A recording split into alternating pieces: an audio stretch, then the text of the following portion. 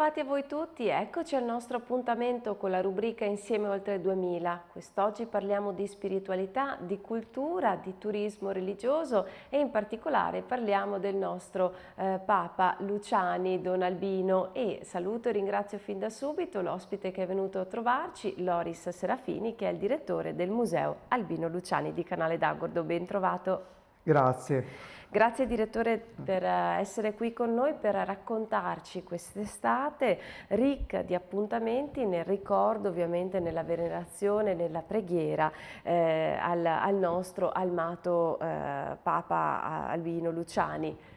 Sì, è un'estate che è la prima dopo la beatificazione eh, che è avvenuta lo scorso 4 settembre eh, 2022 e quindi ha avuto anche un riflesso sulla eh, sul fatto che molti pellegrini, molti visitatori hanno deciso in questa primavera, in questa eh, estate di eh, raggiungere i luoghi natali del nuovo Beato. Ecco, abbiamo voluto quest'anno dare una connotazione particolare a, agli eventi, ehm, ricordando una figura che è quella di uno scrittore eh, trevigiano, eh, Enzo De Mattè, che ehm, eh, ha studiato a fondo l'ambiente culturale, la religiosità di questa valle che è culminato questo studio in un eh, bellissimo romanzo dal titolo La valle con i santi alle finestre.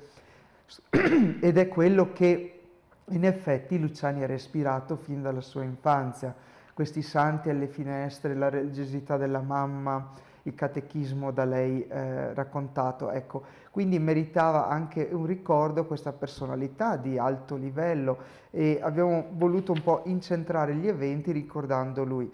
Naturalmente eh, nel contorno di quelli che sono i luoghi, Ecco, di Albino Luciani. Sì. Allora, prima di addentrarci nel ricco panorama di iniziative, di attività, eh, direttore naturalmente eh, con la sua eh, grande esperienza conoscenza di Don Albino, ci, ci, fa ancora un po' la, la figura del nostro amato mh, Don Albino? Certo, ecco, eh, io direi che eh, il, anche se c'è stato eh, Gregorio XVI, è il primo Papa che ha vissuto interamente nel Dolomiti, cioè si è formato, è cresciuto, quindi ha ehm, vissuto una santità ordinaria, ecco, quella delle donne che si sacrificavano come, come, madri, come, come, spose, vedendo partire i propri mariti con fatiche enormi.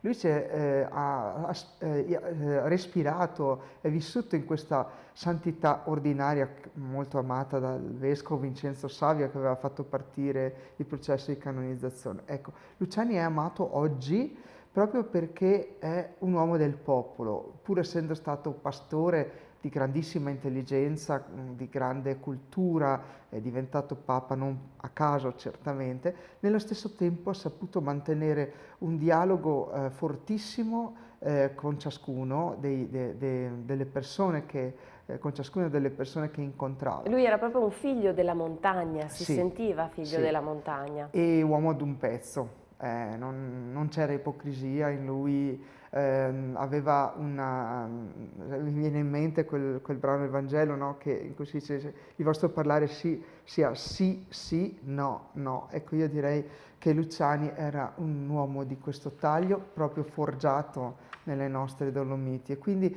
um, quello che colpi, colpisce ancora oggi a distanza di tanti anni sono piccoli ricordi eh, dei pellegrini, piccoli gesti di affetto, piccole attenzioni che formano quella che è la santità ordinaria, tanto cara anche a Papa Francesco. Certo, sicuramente la casa natale di Papa Luciani è l'elemento che un po' caratterizza tutto questo suo mondo. Abbiamo anche delle immagini, grazie all'aiuto di Simone che ci segue in regia, che rappresenta proprio la casa natale che è aperta al pubblico. Assolutamente sì, è il primo luogo direi, perché è il luogo dove è nato e quindi dove nasciamo al mondo è il luogo più importante, no? E quindi eh, la casa è il luogo degli affetti, dove è stato educato dalla madre cristianamente e dal padre nei valori eh, del rispetto verso i lavoratori, no? Ecco, la casa natale che è stata recuperata, è stata restaurata, adibita a, ai visitatori grazie alla generosità del, del cardinale Stella, ehm, grazie poi ai contributi, all'aiuto della diocesi di Vittorio Veneto, ma anche di altri, di altri donatori. E eh, è diciamo il luogo degli affetti, eh, mentre diciamo spostandoci in un percorso eh, che abbiamo ideato verso il museo, che è il luogo della conoscenza, eh, della conoscenza di, eh, della figura, degli insegnamenti di Papa Luciani, si approfondisce quella che è la personalità di lui. No? La casa rimasta com'era ehm, eh, ti permette di, di, avere un rapporto emozionale quasi, no? di, di, di identificarti in quel bambino. Il museo è il luogo invece eh, dove, dove si, si, conosce. Ecco. Passando tra questi due luoghi, in mezzo c'è anche la chiesa, che è il luogo dove lui è spiritualmente cresciuto, dove si è formato cristianamente, ha ricevuto i sacramenti, compreso anche eh, sì, prima comunione, cresima, eccetera, ma è diventato anche eh, cooperatore, quindi viceparroco. E ancora adesso appunto tanti sono i pellegrini che vanno a pregare, no? a lasciare, eh, esatto. la, ad accendere una candela a Luciani. La parrocchia è il luogo del culto, quindi la chiesa eh, della Pieve di San Giovanni Battista è proprio il luogo eh, del culto del Beato Luciani davanti alla statua di Riccardo Cenedese, eh, eh molti accendono un lumino oppure, e, e, recitano una preghiera di intercessione. Ecco, io mh, mm, sottolineo sempre ecco, che c'è l'importanza dell'intercessione e quindi eh, i miracoli li fa Dio, ecco, ma eh, la fiducia che tanti hanno verso Papa Luciani è veramente particolare. È grande. Senta direttore, adesso parliamo, qui ho tra le mani il pieghevole della, della rassegna estiva, quindi che è arrivata ormai alla 45esima edizione eh, appunto 45 appuntamento eventi culturali nei luoghi del Beato Papa Giovanni Paolo I. Abbiamo eh, il manifesto, il pieghevole, così possiamo scorrerli velocemente e anche colpisce l'occhio eh, il ricco programma che è stato realizzato, che è in corso in questi mesi. Sì, ci sono vari eh, modi per ricordare la figura di Papa Luciani. Nei mesi estivi è chiaro c'è una forte presenza turistica nelle nostre Dolomiti e sono i mesi migliori per offrire un ricordo ai visitatori e, e anche ai pellegrini. Direi che ci sono due o tre gruppi di eventi, ci sono dei concerti che non mancano mai, eh, abbiamo valorizzato le due chiese eh, poi legato, a cui Luciani era più legato, la chiesa eh, di San Giovanni Battista, Canale d'Agro e la chiesa monumentale di San Simone di Vallada Gordina, eh, dove, dove c'è appunto anche una nuova una scuola dei battuti appena restaurata, bellissima, del 1300, ecco, dove verranno eseguiti dei concerti eh, sia di organo, eh, sia di quartetti d'archi, ecco, li vedremo nel ricco um, eh, eh, calendario che si può trovare anche sul nostro sito www.musal.it eh, e si dipannano tra il mese di luglio e di agosto. Ci sono poi conferenze, incontri con l'autore eh, che riguardano Albino Luciani, Abbiamo, cominciamo con eh, il, diciamo, il, 22 di luglio la presentazione della tesi de, dell'onorevole Massimo Candu, Candura sulla diplomazia del sorriso, la politica estera di Papa Luciani con il professor Schiavazzi e l'autore eh, che parlerà appunto di un aspetto poco conosciuto di Luciani, la diplomazia, ecco, anche se il papato è stato breve, ha avuto un paio di momenti di altissimo livello diplomatico, ecco, lo potremo scoprire in questo... In Quindi delle particolari sfaccettature anche, no? per sì. eh, evidenziare e analizzare la figura di Luciani. Eh, poi sono, sono, tanti gli appuntamenti, insomma abbiamo visto il calendario eh, e poi naturalmente anche le mostre comunque. Sì, è quella diciamo, principale che abbiamo allestito con la Fondazione Benetton eh, di Treviso e le figlie i figli di eh, Enzo De Matteo, uno scrittore trevigiano, riguarda proprio la valle con i santi alle finestre. Il titolo è precisamente Finestre in Val Biois. Ricorda questo scrittore e, mm, le, e i carnet che lui ha prodotto eh, per scrivere il suo romanzo, diciamo, principale, poi ne ha scritti altri, La valle con i santi alle finestre, nel 1958, l'anno della consacrazione episcopale eh, di Albino Luciani, l'anno dei 500 anni della pieve, il cinquecentenario eh, della pieve di Canale d'Agordo, quindi anche un anno significativo. Con una coincidenza. Ci sono delle appunto. coincidenze, sì. Ecco, eh, cosa lega la figura di De Mattei ad Albino Luciani? Certamente il fatto che questo scrittore ha capito nel profondo quali erano i sentimenti della gente di montagna, la vita vera, non quella uh, utopistica no, che ci immaginiamo, eh, della vita in montagna, i sacrifici che anche lui da piccolo ha fatto.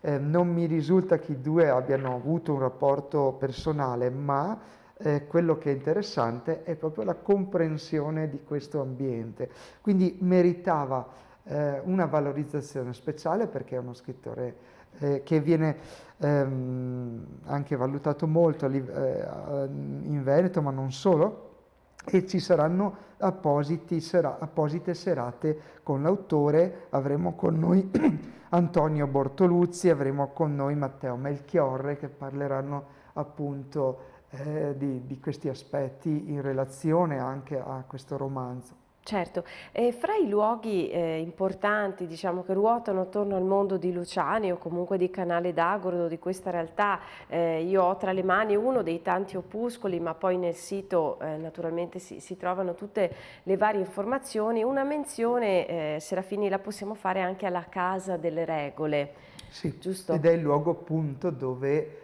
eh, allestita questa mostra. Questa mostra, ma è una struttura è una... particolare, affascinante? Ass assolutamente sì, è una casa del 1640 eh, fondata dalla famiglia Doglioni di Belluno, nobile, eh, che in quell'epoca aveva un proprio membro pievano della Pieve di Canale, quindi eh, aveva mh, anche un parente notaio, avevano acquistato dei fondi e costruito questa casa davvero straordinaria per le pitture, gli affreschi che conserva, ma soprattutto perché è rimasta tale e quale all'epoca in cui fu costruita, quindi con il larin tradizionale, il fornel dell'epoca, gli stessi muri, le stesse scritte all'interno gli stessi intonaci. E quindi, quindi, sembra proprio di fare un tuffo nel passato. Esattamente, di 400 anni. E quindi mm. è un, davvero affascinante per, anche per i turisti, ma poi soprattutto per i residenti, per godere della bellezza insomma, del, del, territorio circostante.